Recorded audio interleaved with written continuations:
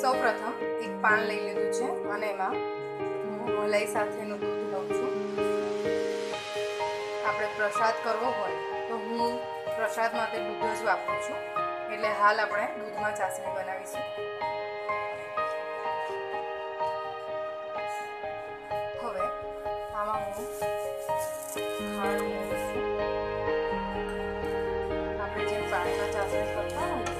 તેવી રીતના જ આપણે આ દૂધમાં ચાસણી કરવાની છે.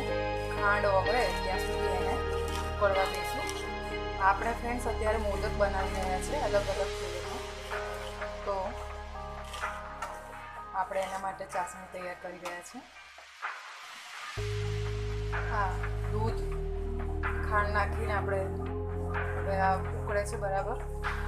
થોડું ઘટ થાય ત્યાં સુધી આપણે થવા દઈશું. જોશો કે એની ક્વોલિટી ચેન્જ થઈ ગઈ છે. કલર પણ સેજ ચેન્જ થાય છે અને ઘટ થઈ ગઈ છે ચાસણી. આપણા મોદકની મેઇન સામગ્રી છે કોકોનટ. આ કોકોનટ પાવડર લીધો છે. આશરે લીધો છે ફ્રેન્ડ્સ આમાં. જેટલો સમાય તેટલો આપણે વાપરીશું આમાં. હવે આને આપણે પ્રોપર મિક્સ કરી લઈશું. આપણું આ મિશ્રણ તૈયાર છે. હવે ગેસની ફ્લેમ હું ઓફ કરી દઉં છું. હવે આને આપણે થોડું ઠંડુ થવા દઈશું.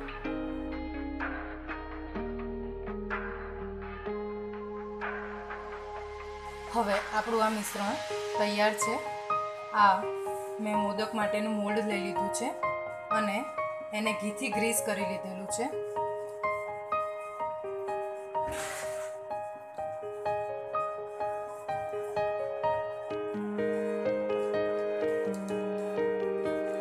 પ્રોપર પ્રેસ કરીશું.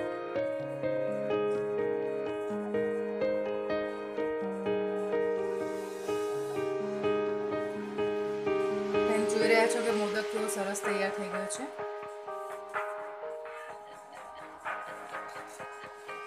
આવી જ રીતના આપણે બીજા મોદક પણ તૈયાર કરીશું. તૈયાર છે આપણા સર્વ કરવા માટે કોકોનટ મોદક.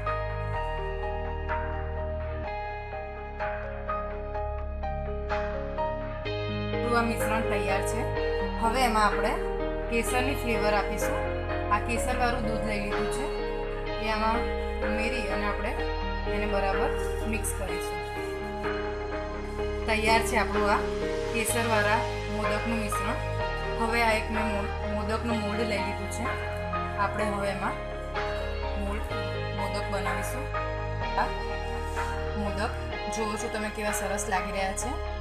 હવે એવી જ રીતના આપણે બીજા મોદક તૈયાર છે આપણા કેસર કોકોનટ મોદક સર્વ કરવા માટે.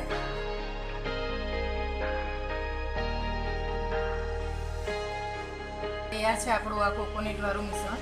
ઠંડુ થઈ ગયું છે. હવે આમાં આપણે રોઝ ફ્લેવર એડ કરવાની છે. આ રોઝ ઇમલ્જન લીધું છે. તમારી પાસે રોઝ ઇમલ્જન ના હોય છે, તો પિંક કલરનું ફૂડ કલર એ ઉપરાંત તમે એસેન્સ પણ યુઝ કરી શકો. આ ગુલાબની પાંદડીઓ મેં કટ કરી લીધી છે અને તૂટી ફૂટીની ફ્લેવર આમાં આપીએ છીએ. આપણે આને બરાબર મિક્સ કરી લઈશું. તૈયાર છે આ. મિક્સ કરી લીધું છે આપણે. હવે આ મોલ્ડ લઈ લીધું છે મોદકનું. હવે એમાં આપણે મોદક તૈયાર કરીશું.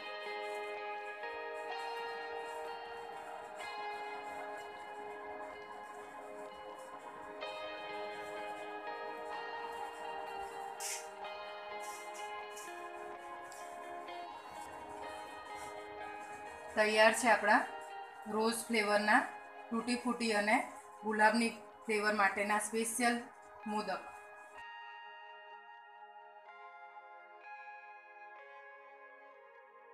હવે આપણે આ કોકોનટના મિશ્રણમાં આ વરિયાળી અને ઇલાયચીનો પાવડર કરી લીધો છે મેં. અડધી ચમચી જેટલો લીધો છે. આ ગ્રીન ફૂડ કલરને દૂધમાં મેં કર્યો છે મેં.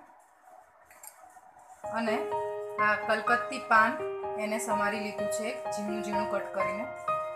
હવે આ બધું આપણે પ્રોપર મિક્સ કરીશું. હવે તૈયાર છે આપણું આ મિશ્રણ. આ મોદકના મોલ્ડમાં હવે આપણે એસેમ્બલ કરીશું.